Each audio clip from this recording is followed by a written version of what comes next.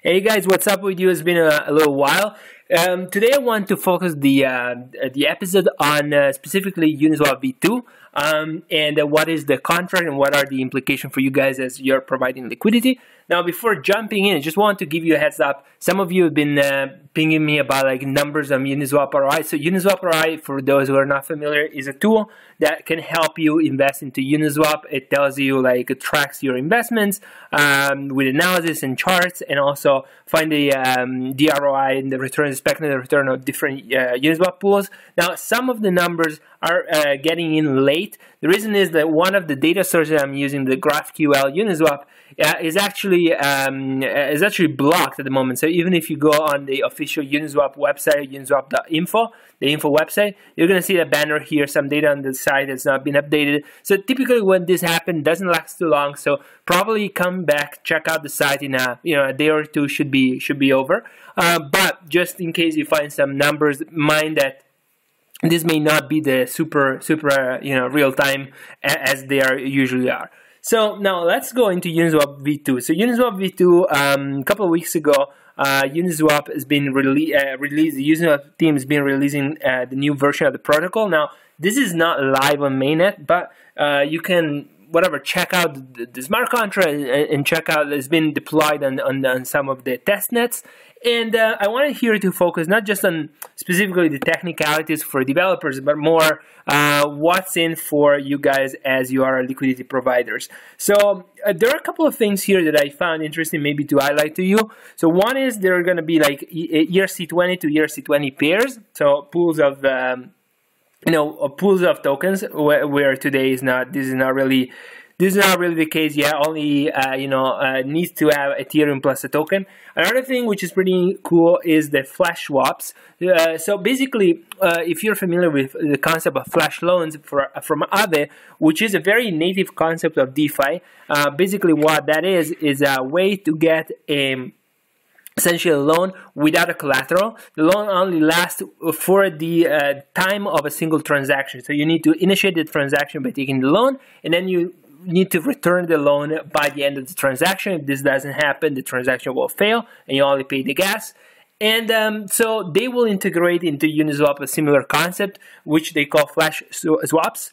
And uh, you're gonna be able to do use this, for example, to make arbitrage between probably pools of different tokens. And so that's gonna be pretty pretty cool to see. And in terms of quantifying the impact, we need to wait and, and, and see what what that uh, you know how that can be actually uh, actually used in practice. Then there is a number of other technical improvements, including like making Uniswap a more robust price oracle, a few other a few other things. Uh, the last thing that is probably impacting whatever the, the community of investors uh, is is the fact that Uniswap will, in terms of the fees. So what they're saying is the the fee will remain 0.3 percent as it is today. Now they have a switch. They're going to have a switch whereby they can direct 0.05 percent, which is around uh, one sixth uh, of that to uh, to the team, right, to the Uniswap team. Uh, and, and so in that case, if once the, that switch is, is turned on, uh, 0.05 will go to the team and, and 0.25 will go to the liquidity providers. And obviously the team will be remunerated to be able to uh, market Uniswap and, and uh, uh, in general, you know, develop it further, pay for grants. And so I, I think it's a very healthy thing to um, to fi- finally create a business model around Uniswap, also for the team to for this to expand. Uh, and by the way, that's very cool to see here. If you go, uh, it's interesting what they say here. So um, if you remember last year, Uniswap generated $1 million worth of uh, fees. Now, this year, given just the, the current momentum, we're already on track to hit $5 million. Uh, and, and so they're saying, you know, if the protocol charge was on, meaning like the, you know, the, the cut of the fees will go to Uniswap, uh, the Uniswap team, they will get about 800K and, you know, the remaining 4.2 uh, million will, will go to the liquidity provider. So just think about this, you know, 1 million last year, we're, we're targeting 5 million in fees this year. Uh, very, very commendable growth. So this is um, this is it for um, you know what I wanted to say on V2. If you have questions or thoughts, uh, please comment in the video. If you like this type of content, uh, DeFi, Uniswap specifically, subscribe to the channel.